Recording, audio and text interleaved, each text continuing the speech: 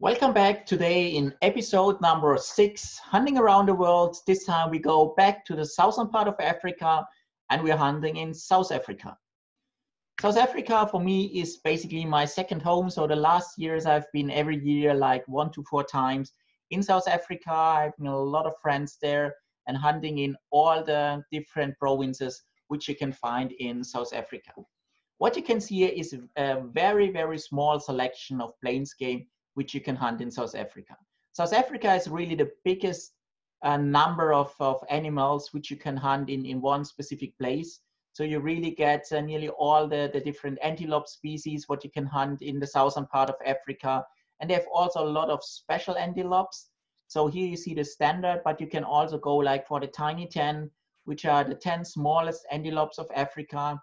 And except the dik-dik, you can find all of them in the different places of South Africa including like Steenbok, Klipspringer, uh, Oribi, Suni, red and blue duiker, and, and many, many more. When we now look at the, the animals you can see here, so on the upper left side, you have the kudu, or also called the red stag of Africa, because this is really the first thing most of the people really going for. On the upper right side, you see the Nyala. Nyala is a special antelope which comes in the Zululand or East Cape. So they really love the bushes and the, and the green places. But in the meantime, you can also hunt them in other places where they have been introduced. But the bottom right corner shows you the sable antelope, which is a very, very famous and very, very uh, nice antelope, uh, which you can, can really hunt here. On the bottom right corner, you see the, the water bucks as well as the, the zebras, which you can also hunt in South Africa. And the middle, the most famous animal for all Spanish and German hunters, the warthogs, which are also existing in South Africa with especially exceptional trophies in, um, in Limpopo. So within South Africa, the accommodation is mainly in uh, lodges. Most of them are like four or five star lodges, which are either in the hunting area or very, very close to the hunting area. You see here some examples from Port Elizabeth in East Cape, northwest, which is the far north of, um, of South Africa. Example from Fireplace in Limpopo, or here also an area in the Free State. So all of them are quite very high standard, what we can then use for hunting. Here's also an example of uh, how the rooms looks inside. So this room uh, is like more flat. You have uh, everything. You could even have a kitchen there. So you could also do like self catering but normally all the hunting is with uh, full boarded accommodation. So then let's look how the hunting looks uh, like in South Africa. First of all, we normally start with a pickup truck. So what you see here is a typical South African or Namibian uh, or even Zimbabwean hunting vehicle. You have a, a pickup with um, uh, where you have some seats even in the back. But these seats are not to shoot from there, but it's more to watch then when you see the animals, then you really stop there and um, and approach them to to shoot. So then we have some impressions from the different different areas of South Africa. South Africa has so many provinces that it's really like you can come there five times and you've seen five different, completely different landscapes. What you see here is an example from the East Cape. East Cape is uh, in the southeast part of uh, South Africa. And what you can see here, there's quite some green bushes, but also some, some open fields. And in the background, you can see the Indic Ocean. I mean, this is really amazing hunting here with having the, the ocean in, in the back. And also when you do your like pictures with the trophies, this gives really, really nice pictures also with the scenery. Another example, what we see here is from the Free State. Free State is more in the middle of South Africa, and normally it's very, very flat. So what you see here is really an exception for the Free State. So this is close to Bloemfontein. Here you have really open areas, but you also have a lot of mountains and hills in between. So, and these different area or different kind of landscape in one area allows us really to hunt here more than 30 different species, which is uh, one of the places where you really can hunt most of the species really in a very short uh, distance. so in the open areas, for example, you can get springbok, blesbok, uh. Then you have the mountains area where you can also get klipspringer, you have kudus, and, and many, many more. So the next one, this is now an area in Zululand. Uh, so um, KwaZulu-Natal. And uh, you see here, it's more open space, more grassland, but they also have a lot of bushes in between and a lot of green, green bushes. This is the area where you mainly um, see the Nyala, you see bushbuck, you also have reedbuck, like common reedbuck, mountain reedbuck, and uh, of course also the normal antelopes like impala, kudu, which you see nearly everywhere in, in South Africa. Yeah, and then how is the approach? So the main approach is first of all, normally you're driving into the area, and then depending on what animal you want to hunt, you are then either sitting or you're stalking. And what you see here is basically the typical hunting style we did like in um, East Cape. You go into the area, you go up the hill, you class up the, the different um, uh, plain, plains areas to see is there the animal you want, like a warthog, impala, or whatever you're looking for.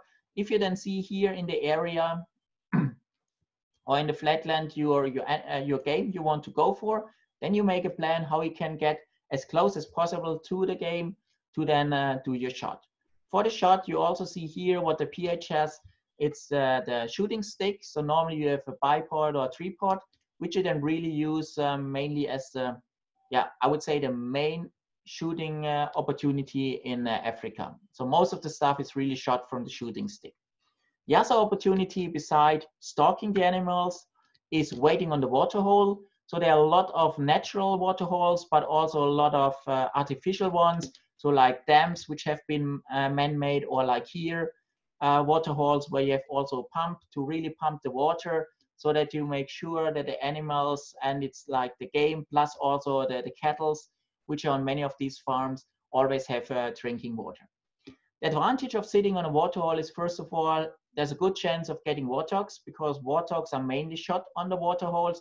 And of course, uh, also for the other antelopes, you can select much better and you have a yeah, steady shooting position so that you just can wait for them. And also if you're not really that physical fit, this is easy hunting because you're just sitting there and waiting. So here then some examples of trophies like a nice warthog or also some antelopes like waterbuck. Um, here you have an impala, bushbuck from Limpopo, or then one of these uh, very good uh, sabres what we can shoot.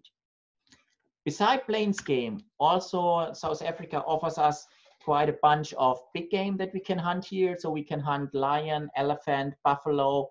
We can also hunt um, hippo, crocodile, even rhinos, uh, which is the only place in the whole world where we can also hunt for rhinos. The hunting on the, the big game is um, different to plains game. So for uh, leopard, for example, or lions, uh, for, for leopards, you can use the bait. The same is true for the crocodiles. So you can bait them on, on the um, shore. So to wait for them to come out of the water, or you can uh, stalk them to see if they're laying on the sandbank and then you can, can shoot them. Or if you're quite good shooter, you can also shoot them in the water, but then you really need to hit the brain and then you can, can get them. Same is true for the hippo. Hippo is normally shot either outside or inside the water, but always or as much as possible brain shot so that they really go down immediately. So let's now have a look at a buffalo hunt. Buffalo hunts in uh, South Africa, we are doing the same way as in Zimbabwe. That means we find a fresh track in the morning, we stalk after the track until we reach the buffaloes, and then we decide if it's the right one or not. And here you can see an example of a buffalo track next to a 375 Holland and Holland, which is a minimum caliber what you're allowed to shoot uh, for the big game. If this is a track and the PH says, yes, this is a proper bull, we want to go for it, then we just follow this track until we reach the, the buffaloes. If you find it very early in the morning and it's fresh, then you can have it in a few hours or even faster. If it's a little bit older track and the buffaloes are really on the run, then it can take the whole day to really reach the buffaloes. And as you can see here, before in the sand, um, you can see it quite easy, the, the, the track. But here then gets more and more difficult with the leaves on the ground. And then especially if it goes left or right into the thick bush, then to follow the tracks uh, is very hard for someone who is not used to it. And that's why we have our PHs and trackers who can really follow these tracks even in the thick bush, even on stones to really bring us to the buffaloes. If you're then lucky and we can reach the buffalo herd, then it's important to really look at the wind and your cover. And here we were lucky, wind is coming directly from the front, so the buffaloes do not see us at all or smell us at all. And with this, we can really get close to them and uh, then try to figure out which of the buffalo is the right one for us to shoot. And then you need to try to get a shooting position. In this case, we couldn't shoot because they're always standing behind each other. So there's no free, free side to shoot them. But we were following them and luckily there was a, a small pass where they had to pass. They were passing one by one so that whenever the, the buffalo that we were targeting for jumped over the, the on the street, we were able to bring the shoot from the shooting stick so that we could get our trophy. Yeah, and this is now an example of a trophy, what you can shoot here. And uh, this is now a, a good bull, which we have shot in this area. And now everything of this bull in the end is used. So that means trophy goes to the hunter, meat and so on goes to the local community, goes to the uh, the lodges so that really the whole body is, is used. Good, here, this was now an impression of the hunting, what you can do in South Africa, but South Africa offers many, many more things than just hunting. What you can see here is a lot of tourism uh, options. You can go to Cape Town with a, a table mountain. You have some coasts where you can go swimming and so on. You have the garden route. You have the Kruger National Park and many, many other national parks and, and options. What you can really do in South Africa to combine your hunting with a normal uh, vacation.